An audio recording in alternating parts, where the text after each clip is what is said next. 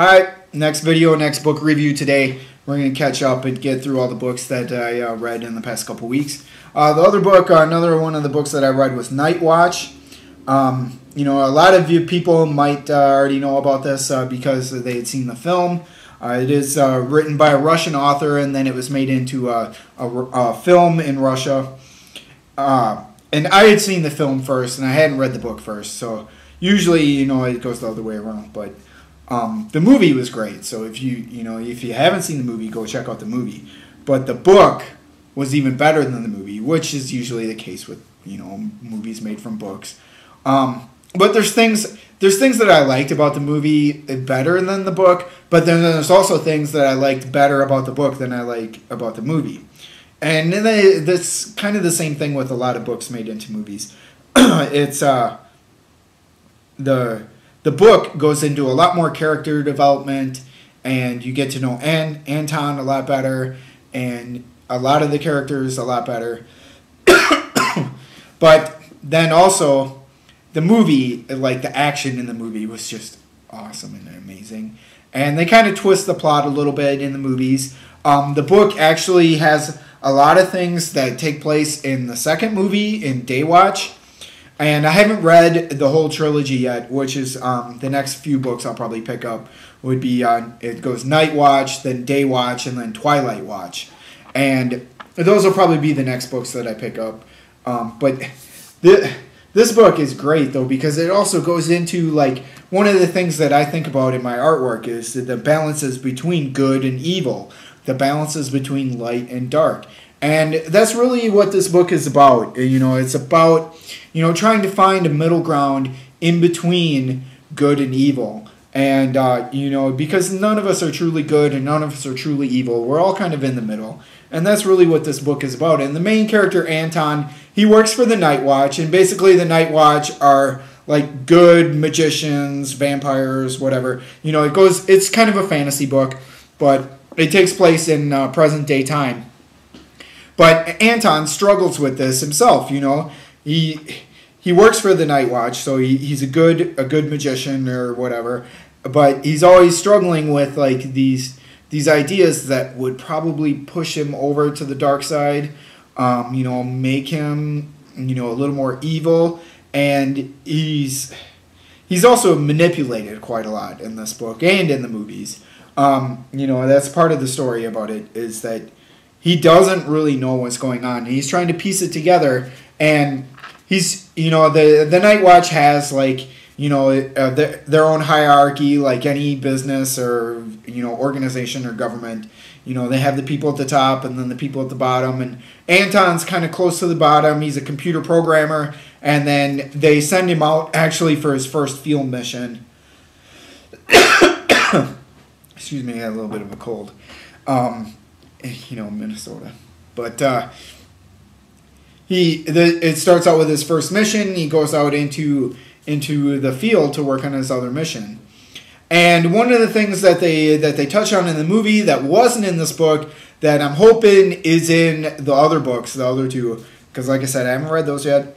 Um, but is that um, the the boy that is in the book that becomes an other, and that's what they call them. They don't call them vampires or magicians, you know. They kind of do, but really they're just labeled as others. You know, people with extraordinary abilities that you know don't fit into the real world. And you know it it goes into in the movie about how the boy is actually Anton's son.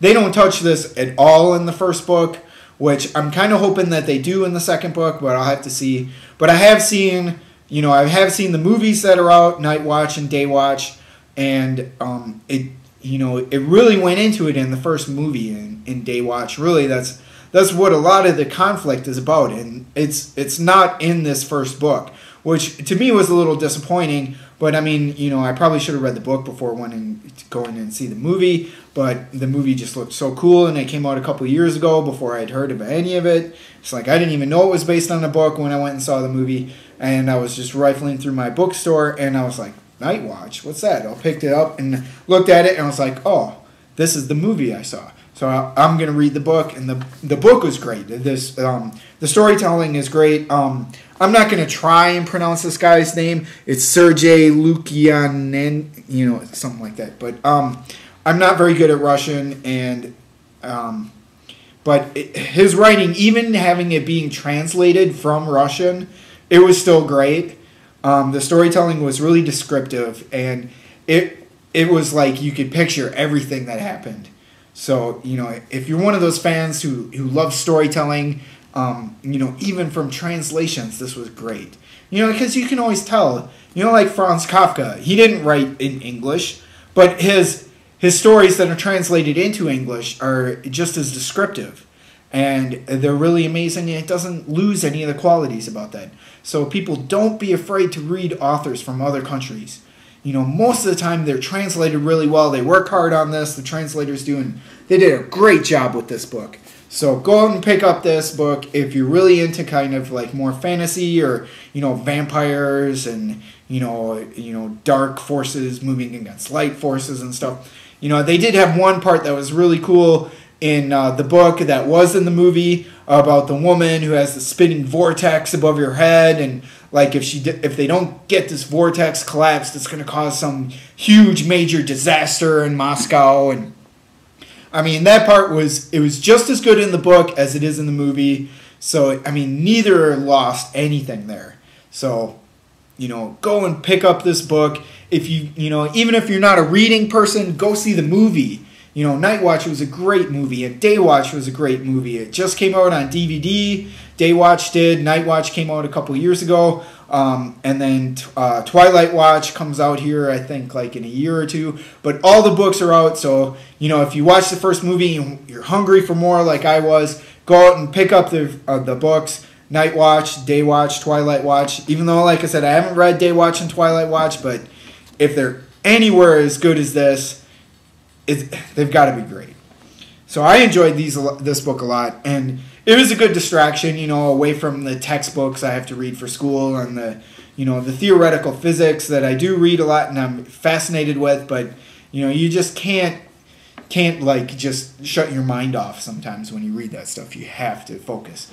And this I read this book in maybe three days, four days I think it was. It's like 450 pages and you know, I just whipped through it just because it it's one of those books where like you just want to keep reading. You want to get to the next part and see what happens next and see what happens next. And you know, even after seeing the movie where I like I had a good idea what would happen next, I still wanted to read it and find out what happened next. So go pick up Day Watch, Night Watch, Twilight Watch. You know, you're gonna start. You know, you always want to start with the first one, Night Watch, but go pick them up. They're definitely worth reading. The movies are definitely worth watching. Highly recommended.